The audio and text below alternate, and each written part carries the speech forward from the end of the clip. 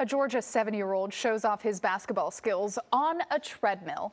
Zeke Vozniak, a sports-obsessed kid from Georgia, he's always looking for new ways to demonstrate his basketball skills. So when he saw a treadmill in his great-grandmother's garage, a new idea came to him.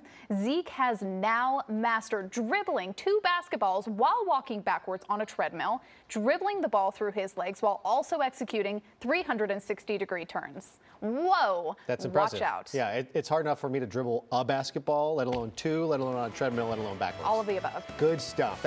Hello, I'm Mark Brown. Get more great ABC7 content by clicking the subscribe button for our YouTube channel and download the ABC7 Los Angeles streaming app on Fire TV, Android TV, Apple TV, and Roku to watch on your TV.